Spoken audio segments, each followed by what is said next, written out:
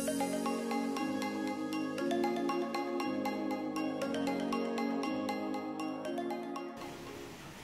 everyone! This is Cher. Welcome to my channel, All About Cher.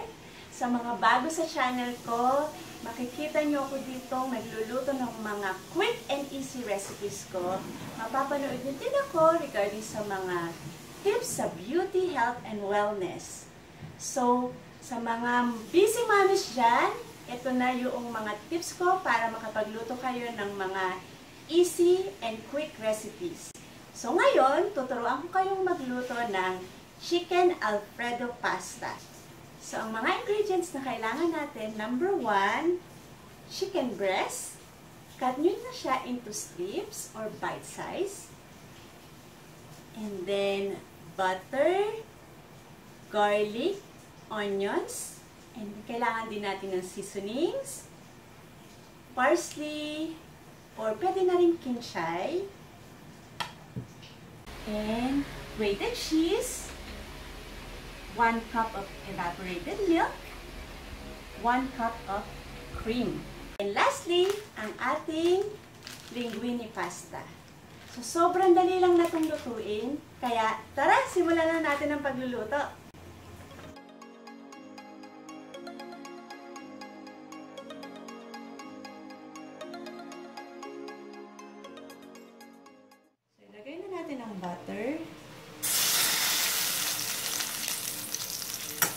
Pahinaan lang natin yung apoy para hindi masunog yung butter.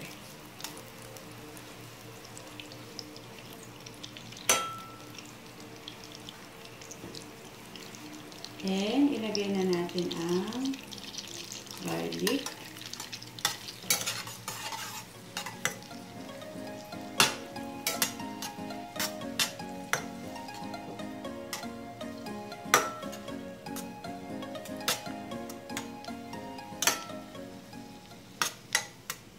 Then, pwede na natin isunod ang onions. So, ibisa lang natin ang onions and garlic. So, intayin natin maluto ng konti yung garlic. Pag medyo golden brown na siya, pwede na natin ilagay yung ating chicken breast.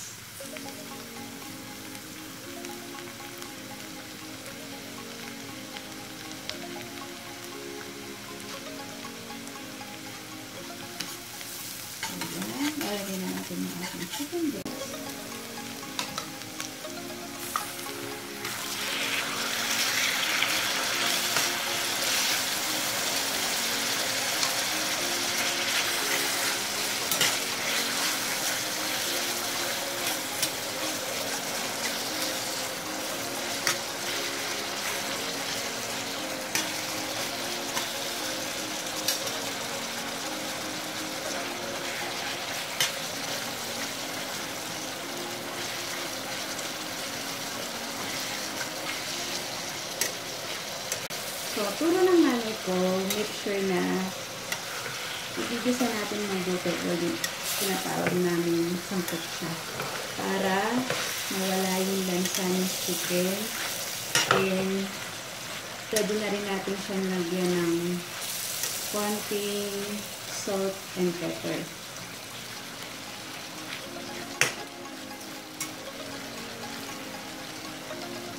And other seasonings.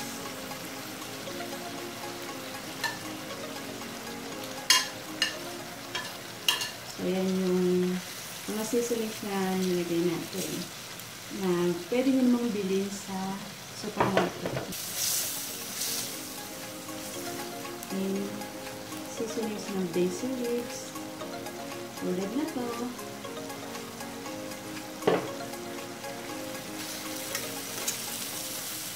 So, lagyan lang natin siya ng salt and pepper to taste. Tapos yung ating mga seasonings. So, para lalo siyang sumunod.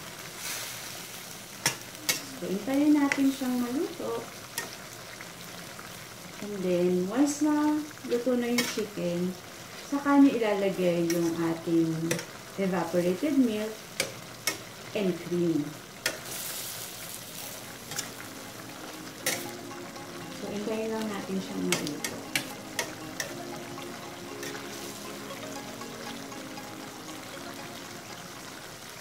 5 to 10 minutes, luto na siya. So, napakadali lang na itong recipe na to. Na after nyo mapanood, for sure, gagayahin nyo na siya at lulutuin nyo na siya para mapakain niyo sa inyong family.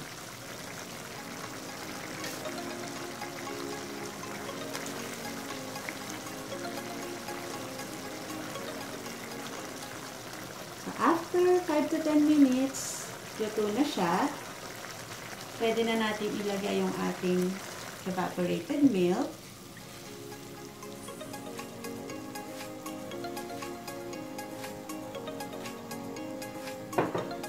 So, haluin nyo lang siya.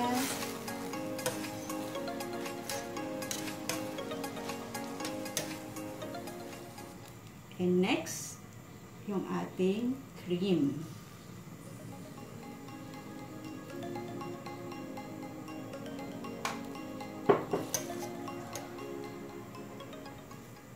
So, iset niyo lang yung stove niyo into medium heat para dahan-dahan siyang maluto. At the same time, manunuot yung lasa dun sa chicken.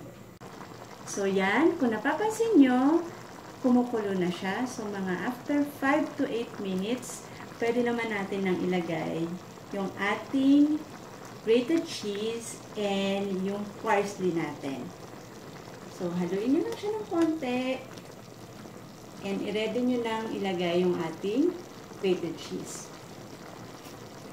So, kahit anong klaseng cheese, pwedeng pwede nyo gamitin. Parmesan cheese or yung ordinary cheese na mabibili nyo sa supermarket. Hindi nyo kailangan bumili ng mga mamahaling ingredients. Basta make sure na iluluto nyo ng tama. So, nalagay na natin yung ating grated cheese. At least mga 1 cup of grated cheese.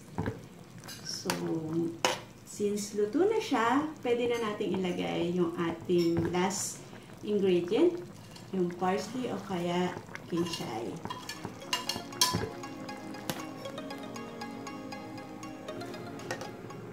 So, paano din natin ma-check kung luto na yung chicken?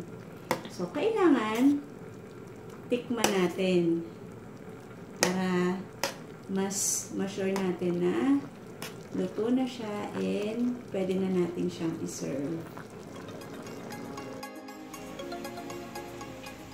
So, yan. Mag-init muna tayo ng tubig para sa pasta natin. So, lalagyan lang muna natin ng asin.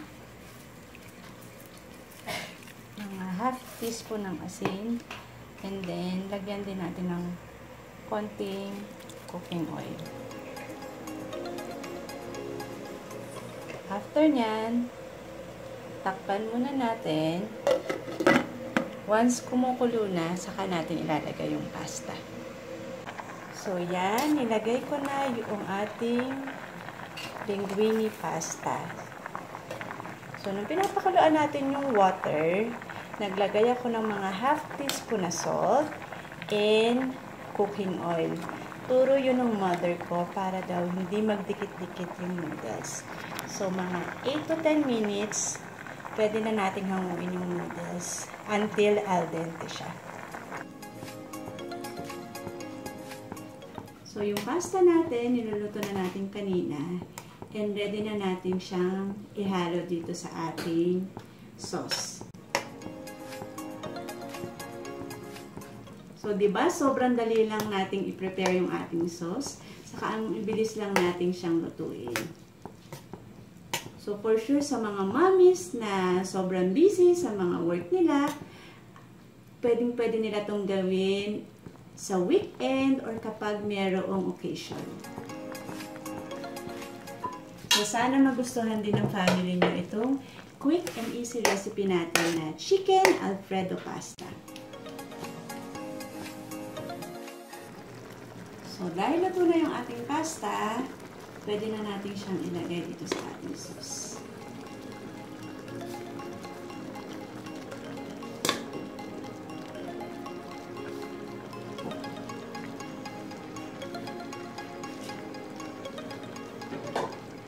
So, haluin mo lang siya para lalong manuot yung sauce dun sa pasta.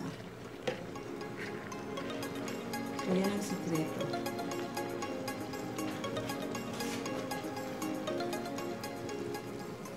So, dahil pasukan na rin, pwede din nyo itong pabaon sa inyong mga anak.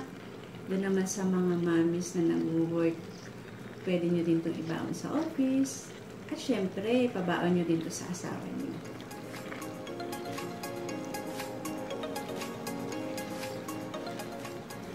So, mga 2 to 3 minutes, once na nanood na yung sauce dun sa pasta, pwede na natin siyang iserve.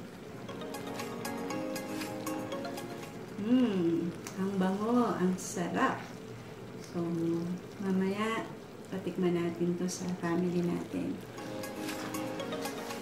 Okay, after natin lutuin yung pasta, magpe-plating na tayo.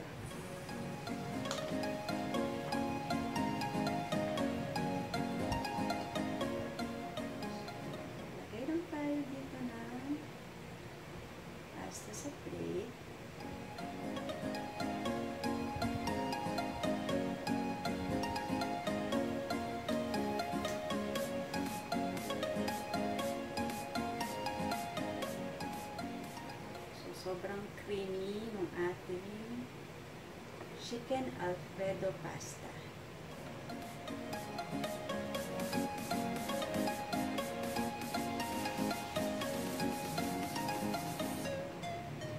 So, lagyan natin ng chicken ng ating pasta.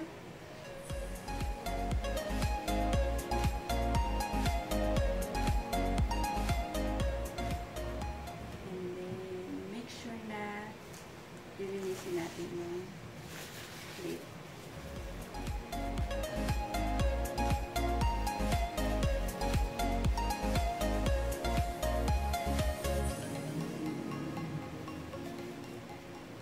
add na natin yung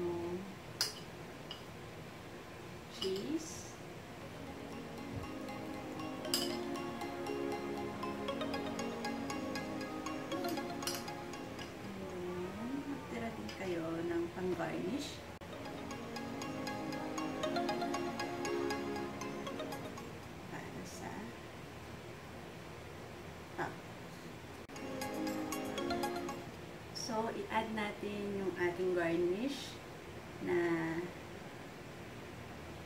kinchay. So, ito na yung ating finished product. Ang ating chicken alfredo pasta. Sana nagustuhan nyo and lutuin nyo na siya para sa family nyo. Thanks for watching!